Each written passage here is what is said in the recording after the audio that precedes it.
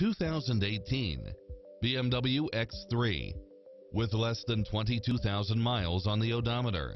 This SUV offers space as well as power and performance.